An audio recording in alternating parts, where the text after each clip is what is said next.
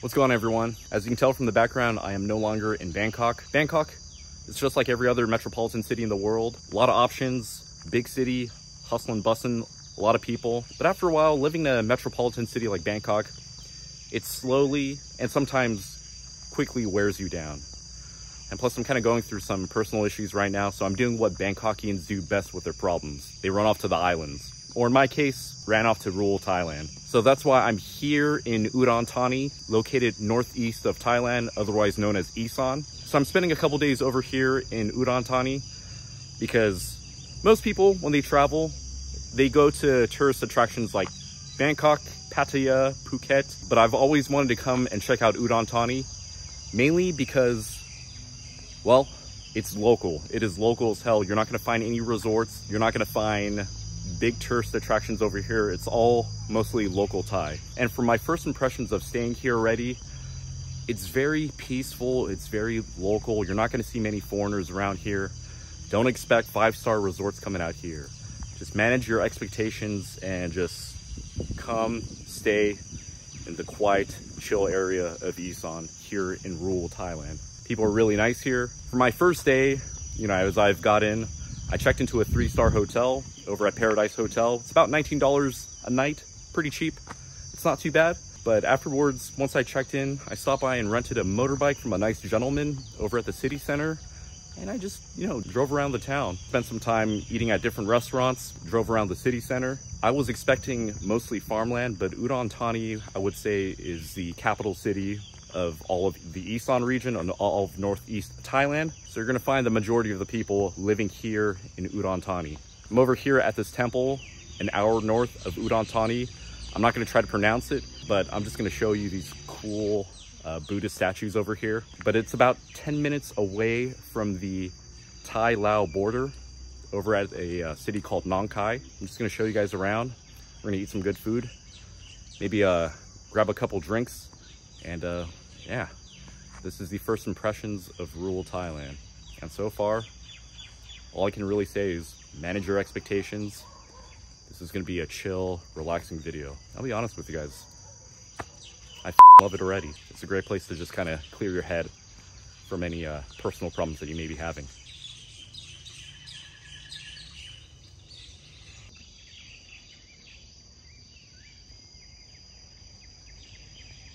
Now, for all of you guys that are watching, for all of you guys that are already interested in Thailand, it's no surprise that Thailand is a country known as the land of smiles. And that is because, well, I'm pretty sure that wherever you're traveling to, whether it's in Bangkok or Phuket or Pattaya, the person that you come to contact with is most likely from the Isan region of Thailand. They're either from Udon Thani, Khon Kaen, Kalasin, or, all, or some of the other neighboring provinces. The most friendly and hospitable people come from this part of Thailand. A lot of these people, when you're going to these high tourist attraction areas and you know, all over Thailand, you're gonna come from people, you're gonna encounter people from Isan helping you. A lot of them working mostly in the service and hospitality industry. From my experiences, from all the people that I've spoken with so far, these people really are some of the most friendliest part of people in Thailand.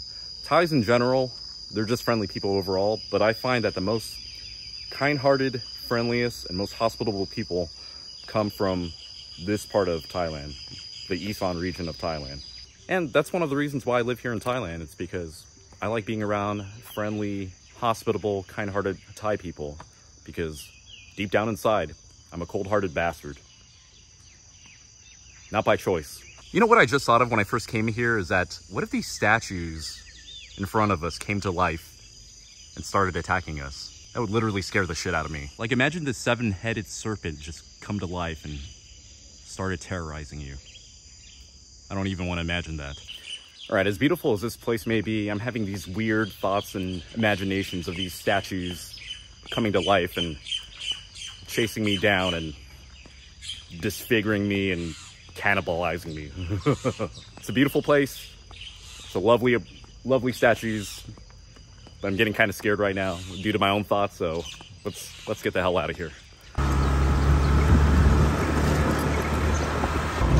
What the?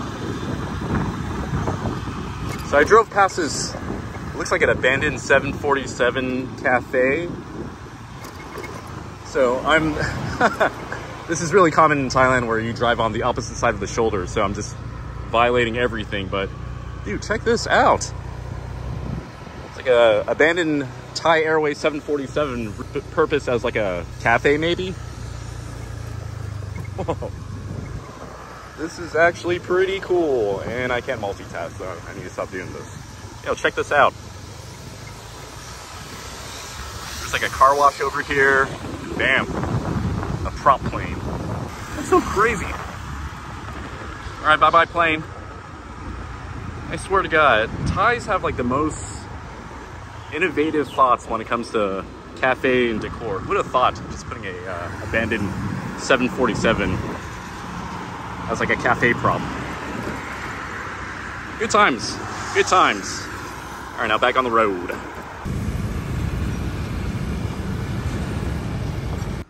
All right, so I just entered this complex to grab some lunch. It's interesting, I come over here, there's like a basketball court stadium over here. I'm gonna be grabbing lunch at this place called Samuay and Son, known for their premium Isan dishes. And there's a bunch of other nicer restaurants out there, but uh, we're gonna focus on this one for now. This is the interior once you come in. Of course, they're playing traditional Isan music in the region and yeah, pretty simple. This place I noticed has more premium pricing, 270, 285, 285. So about like, I don't know, let's say like eight bucks or so. But uh, I ordered the, I ordered two dishes. I ordered the minced pork and tamarind relish with crispy pork belly because mugrop, crispy pork belly. I love it. So I've grown up eating crispy pork my entire life.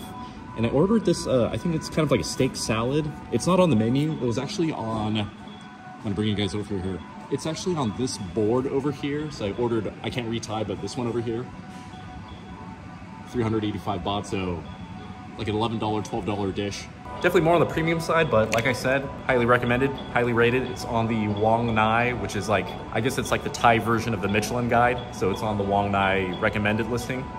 So we'll see how it goes. Can't wait to try this place out. All right, ladies and gentlemen, I am seriously in heaven right now. Lunch has been served. Uh, this smells super fragrant. I just love the aroma of this beef dish. Uh, I don't know what's it, what it's called in English, but I'm gonna put the Thai name of it right here.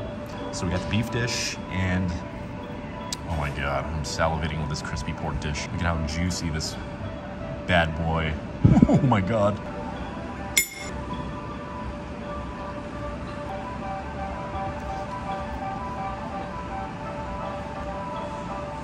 I'm not joking when I say this. I think this might be one of the best meals I've had in Thailand. So good. So good.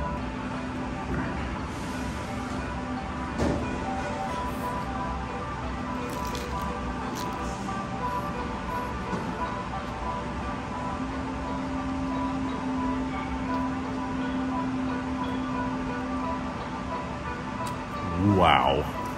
This is by far one of the best crispy pork bellies I've ever laid in my mouth here in Thailand.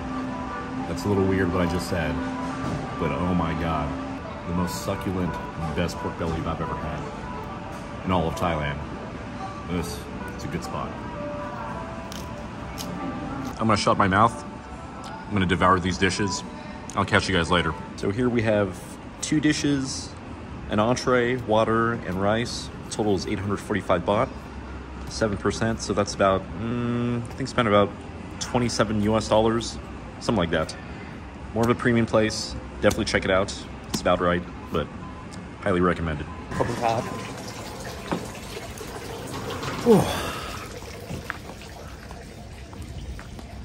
I must say, that was one of the best meals I've had in a very, very long time here in Thailand. Not to say that Thai food isn't good. Thai food is one of my favorites. But this spot, oh my goodness, man. If you guys ever come down to Udon Thani, this is a must, must visit spot. All right, you won't regret it. I'm gonna go back, I'm gonna go rest up for a little bit. We'll see what we do later tonight. We'll see. Check back with you guys later.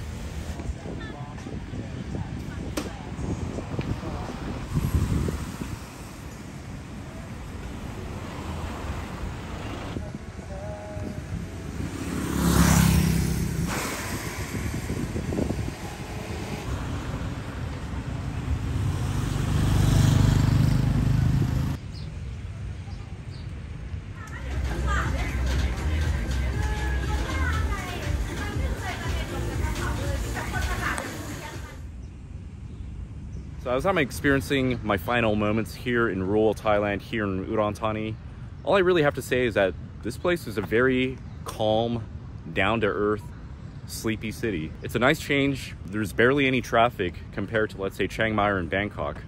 And this is what I would imagine a traditional Thai city would be like. This is, to me, this is what I would assume the real Thailand is like here in this region of Thailand. Not one that has been completely bastardized or neutered for tourism like in some places in Bangkok or Phuket, Pattaya.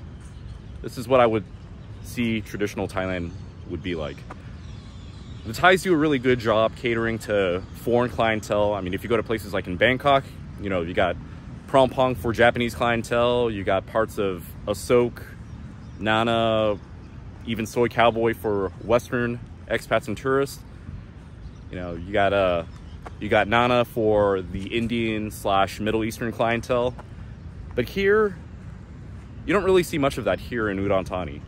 Maybe there's one street for some of the older expats, but that's just a very small fraction encompassing all of Udon Thani around here in the Isan region of Thailand. You know, from what I've seen, it's just very calm, quiet, families and friends getting together, having a nice drink, eating a nice meal, and just kind of enjoying themselves in this quiet, sleepy city in this part of Thailand. You know, the more I think about it, the more I can see myself returning here to recharge more and more, to meet some nice people and to chill at like a massive, huge park here in Udon Thani. You go to parks around Bangkok, ton of people, which is understandable because it's such a huge, it's such a huge population. But over here, it's barely anyone. It's good to just recharge your battery for a bit and just to experience more cultural stuff in this part of Thailand. I can love it here and happy. I can definitely see myself returning back here in a couple months or maybe sooner than that. Man, I fucking love Thailand. This country makes me happy.